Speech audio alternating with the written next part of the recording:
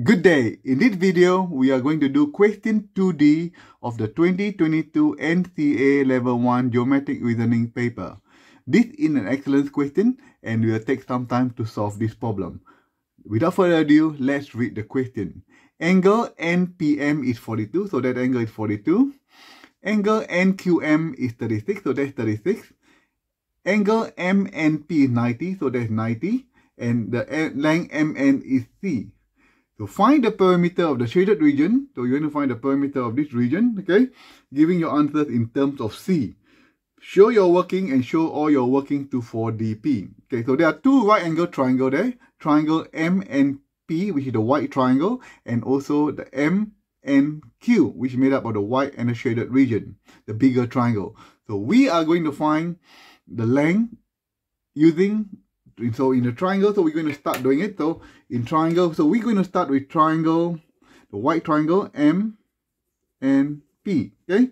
So we can find the two length of the, so we can find MP, so MP is going to be using the SOHCAHTOA, so that's going to be opposite, C is going to be opposite, and NP is going to be your hypotenuse, okay?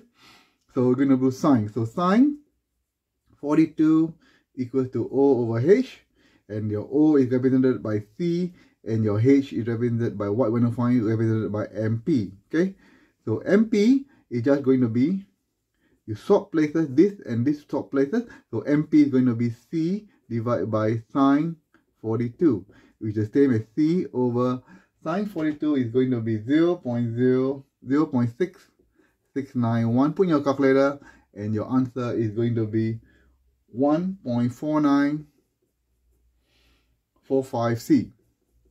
So that is the first length you find. So once you find 1.4945C, we're going to put it here because that's one of the length we need to calculate. So you got 1.4945C. So that is the length. So we need to calculate the other two lengths to calculate the perimeter of the shaded region. Okay, next we can find the length NP. Okay, NP, so same thing.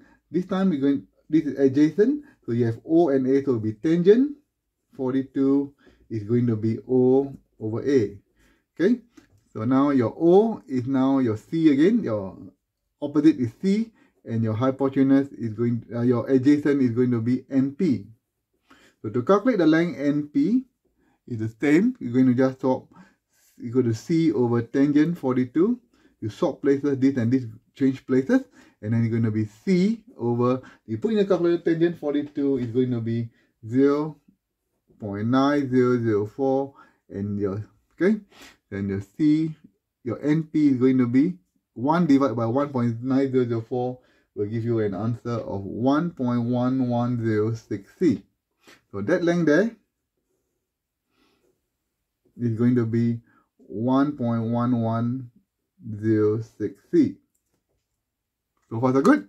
Great.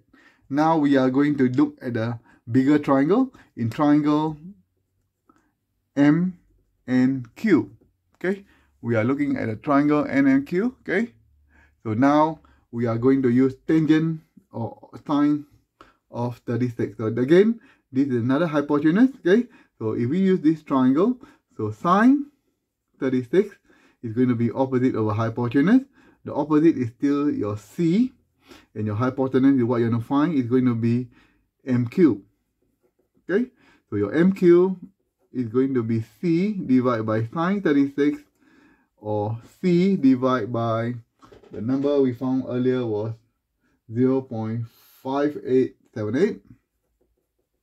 Put your calculator and find out that sine 36 5878 and your answer is going to be 1.7013C.